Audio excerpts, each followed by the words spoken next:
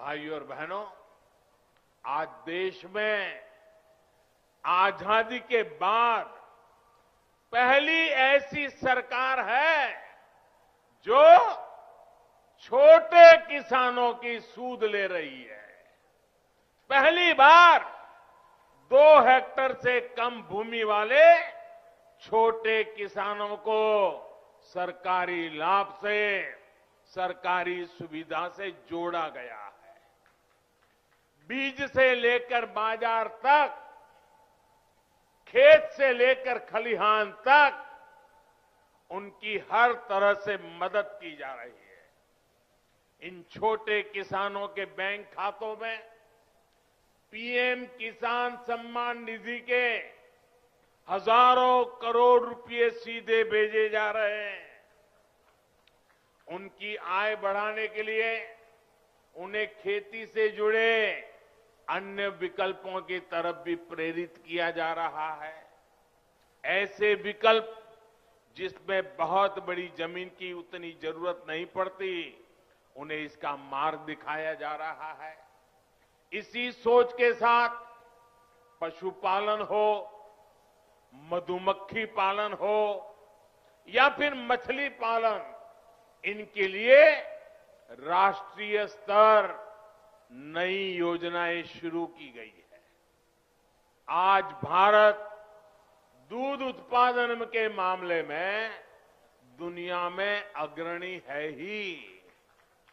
लेकिन आपको जानकर के खुशी होगी, आज हम शहद, हनीम, मधु, आज हम शहद निर्यातक के रूप में भी विश्व में अपना स्थान बना रहे हैं। हमारी सरकार के प्रयासों की वजह से बीते सात वर्षों में शहद का निर्यात बढ़कर करीब करीब दो गुना हो गया है और इससे किसानों की 700 करोड़ रुपए से ज़्यादा की कमाई हुई है। भाइयों और बहनों किसान की आय बढ़ाने का एक और विकल्प बायोफ्यूल भी है।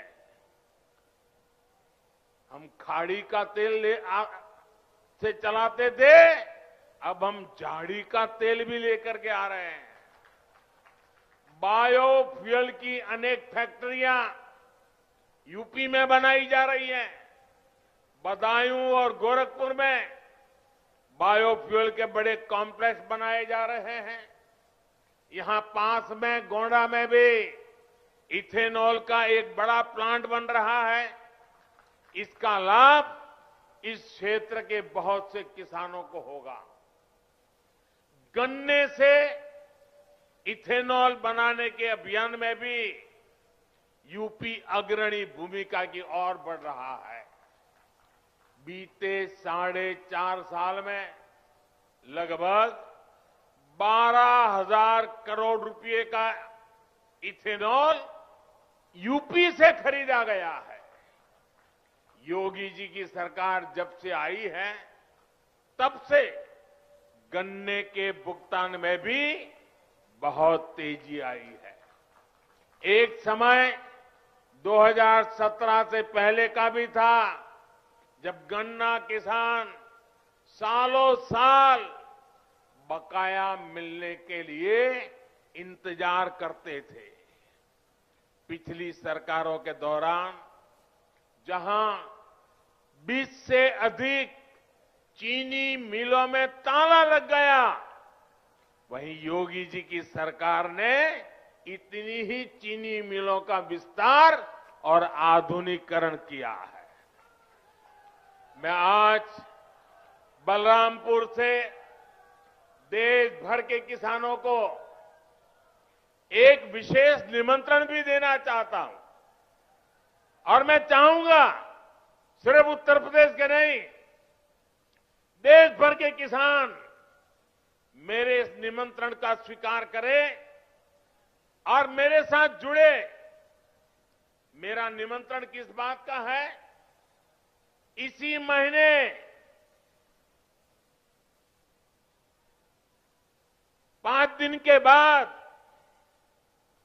16 तारीख को 16 दिसंबर को सरकार प्राकृतिक खेती पर, नेचुरल फ़ार्मिंग पर एक बहुत बड़ा आयोजन करने जा रही है। हमारे एक पद्म पुरस्कार विजेता सुभाष जी करके हैं महाराष्ट्र के। उन्होंने ज़ीरो बजट खेती का एक, विचार विकसित किया है। ये वो प्राकृतिक खेती वाला विषय है। इससे हमारी धरती माँ भी बचती है। हमारा पानी भी बचता है।